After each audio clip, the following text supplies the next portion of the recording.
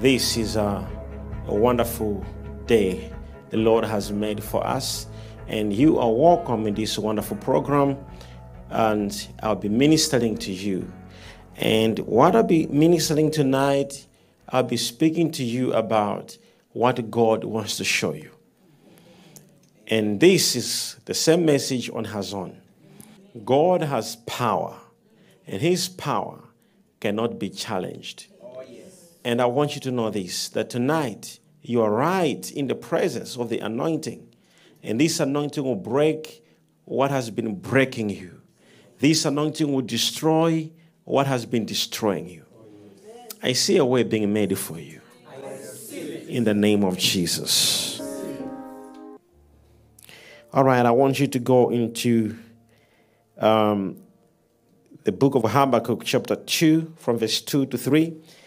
Habakkuk chapter number 2, verse number 2.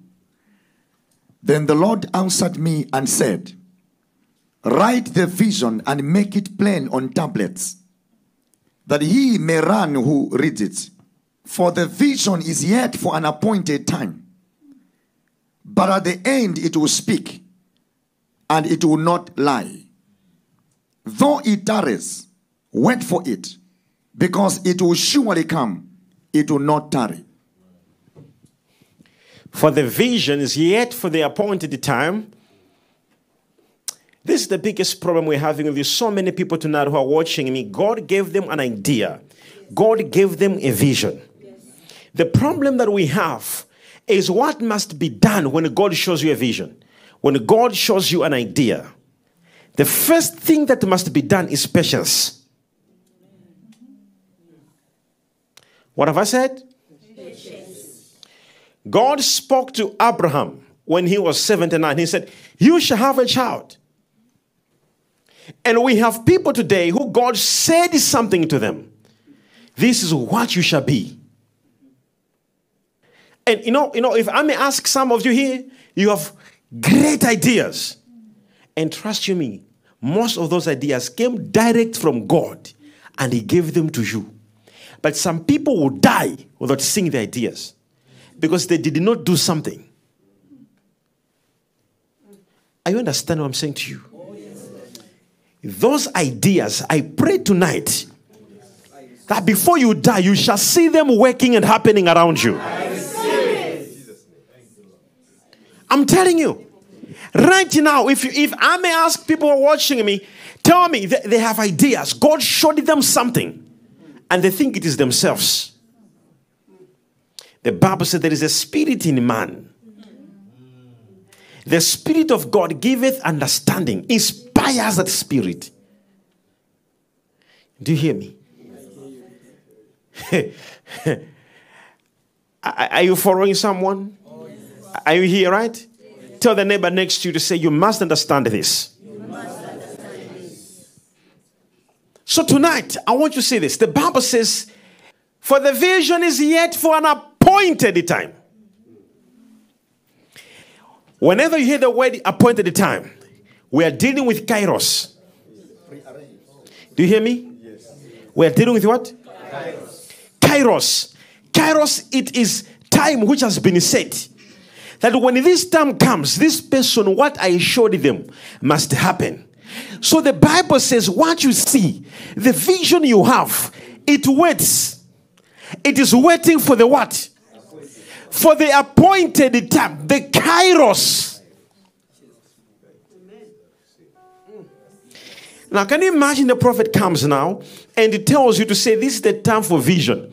This is the time. This is the time you have been waiting for. It's the time when what you've been seeing must begin to be fulfilled, must begin to manifest. Raise your hands and say, My visions will come to pass. What I see, my ideas will manifest. Say, In the name of Jesus. Do you know? Do you know what happened? God had a plan. Do you hear me? He said, I will send Moses to go and save the people. Did you hear that? God had a plan and he said, I will send to who? Moses. Do you know what happened? Moses. he was living in the palace. But one single day, he saw that an Egyptian was attacking a Pharaoh Jew from Israel. He said, Wait, wait a minute. I live in the palace, but I cannot allow this to happen. And, and him, as a man, he knew that it was his calling to defend the people.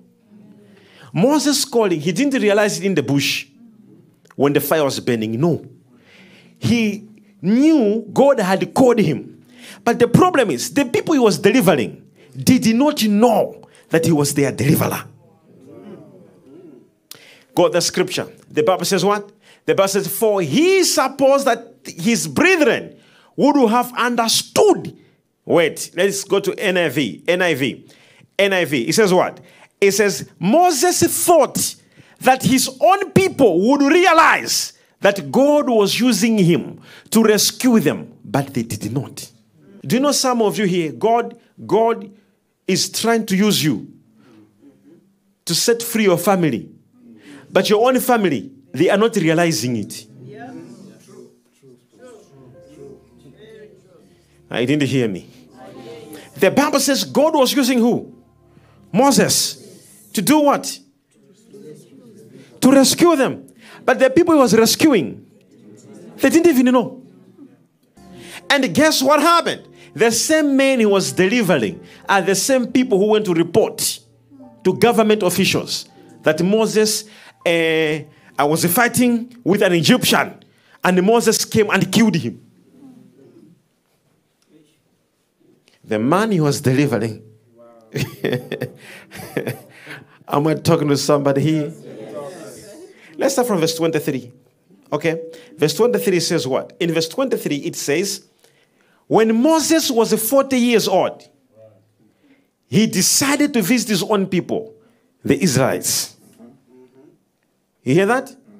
He saw one of them being mistreated by an Egyptian. His only people. So he went to his defense and avenged him by killing the Egyptian. Moses thought that his own people would realize that God was using him to rescue them, but they did not.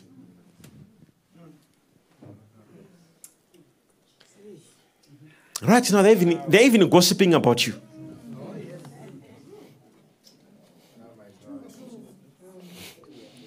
They're like, does he think properly? They think you're useless.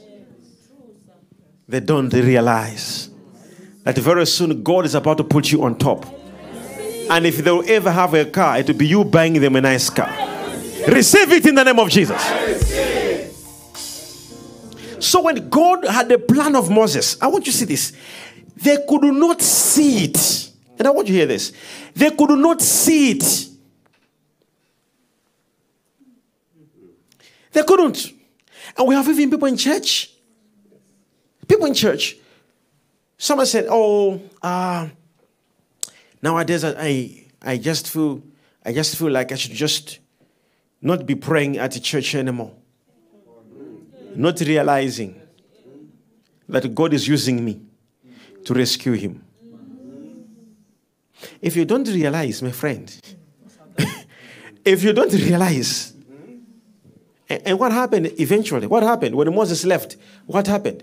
They, they began, they, they were being used to work the whole day, remove hot bricks with bare hands because they did not realize that that man, God was trying to use him to rescue them. So they were like, ah, so should we go? And then they were now working hard using bare hands, removing bricks.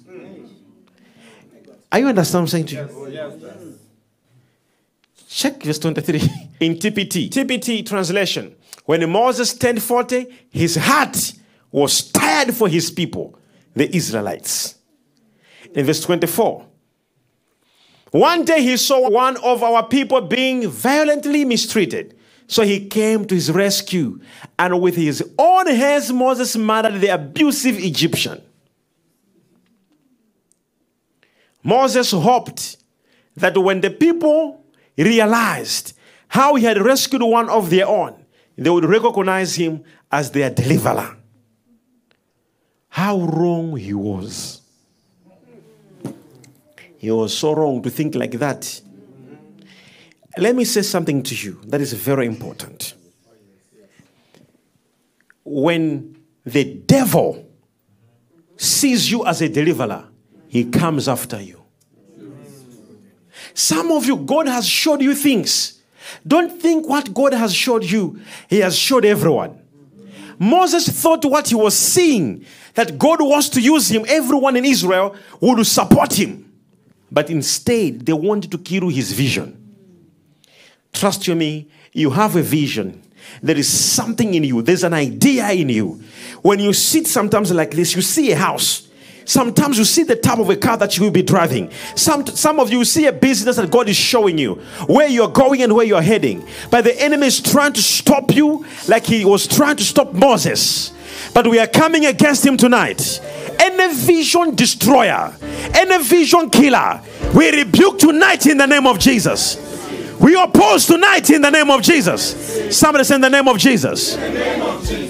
Say my vision will come to pass. You know, when I close my eyes as a prophet, as your prophet, when I close my eyes like this, I see shops. I see boutiques, which are not yet happening on people. I see contracts. I see nice jobs. I see opportunities opening of people.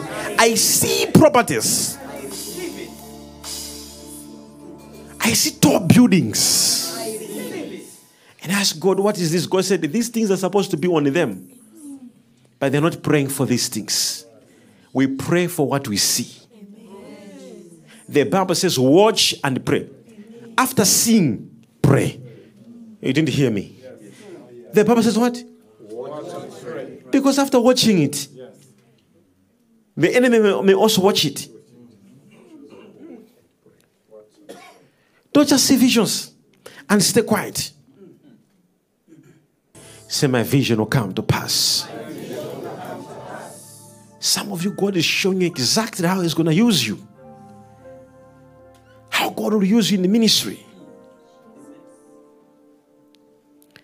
You hear that? God is actually showing you, like properly, how He will use you. And the devil says, We must destroy this woman now. Moses, he thought that they will understand him like, oh, God is using him. The Bible says, how wrong was he? The same people came after his vision. I am here to tell you the reason why most of you, your visions are not happening, they are spiritual resistances which the enemy has put up against your vision. Do you know before Moses was born, what happened? Before Moses was born, the enemy had information that Moses was coming. And the enemy went to the king, the devil, at night went to the king. And they said, Now make a law that every baby boy must be killed. You think who inspired the king to make that decision? Tell me, who inspired him? He had information of the vision. Some of you, your, your, your baby, your baby, your miracle, he has information it is about to be born. And he's coming after your vision. Some say, I stop you now. Stop you now. See the way you are talking, it's like you're friends with the devil. Stop him proper. Say, I stop you now. I stop you now. Say, I resist you in the name of Jesus. Say, what is about to be born Who will be born in the name of Jesus. I rebuke any demonic abortion, any demonic miscarriage. I will release my miracle baby. Whatever miracle that is about to be born in your life, whether it's a financial miracle, it will be born. Whether it's your wedding, it will be born. Somebody said it will be born. So you must understand that the enemy wants to come against what you see. Now the Bible says, write the vision down. It says, for it may take long. It says, about what? In in in in uh, Habakkuk 2, from verse 2. Let's go back there, where we started from.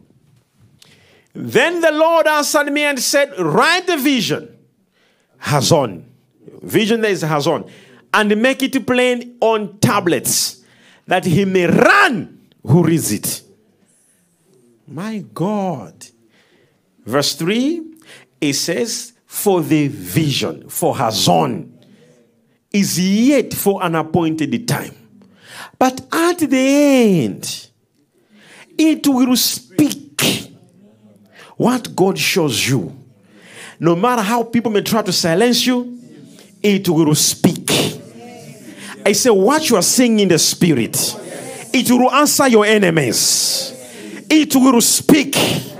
Somebody say, What I'm saying in the spirit, say the divine concept that God is giving me now, it will speak. So never just be in your house and they say, Papa, I'm believing your God. No, there's nothing like that. Nothing like that. Go and register a company. Begin to write what you are thinking you must do. Yes, I'm, I'm home. No, go and register something. Pray harder, work harder. I pray tonight that your vision will happen. Say Hazon. This is where you see something and you do it. Do you do you understand what I'm saying to you? God wants the church. God wants the church to possess what belongs to the church. Oh, yeah. It is for the inheritance of the saints. So I must tell you today, as your spiritual father, that you're joking. You can't just believe in like that. Something must be done. Am I talking to somebody here? Anything you've been seeing, dreaming, any vision you have, it must manifest. I command in the name of Jesus. It will happen in the name of Jesus. Your project will happen in the name of Jesus. Your project will happen in the name of Jesus. Your plan will happen in the name of Jesus. Your career will happen in the name of Jesus. What you see in your career shall manifest. Your calling shall come to pass. Your ministry shall grow in the name of Jesus.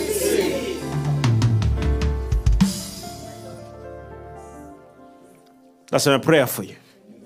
You need to know this. We we are praying. We are praying. Pray for your vision.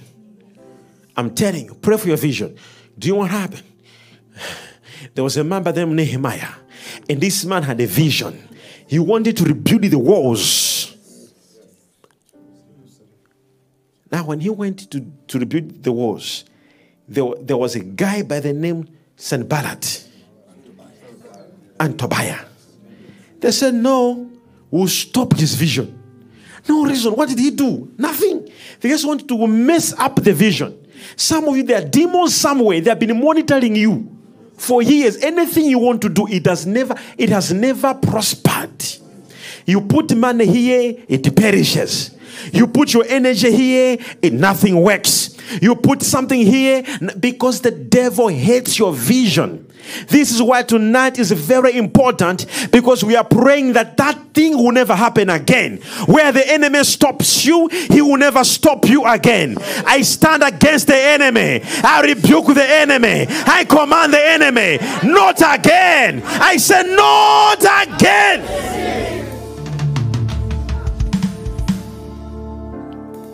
Have you noticed it? Have you checked it? When you try something, he stops it. You try something, he stops it.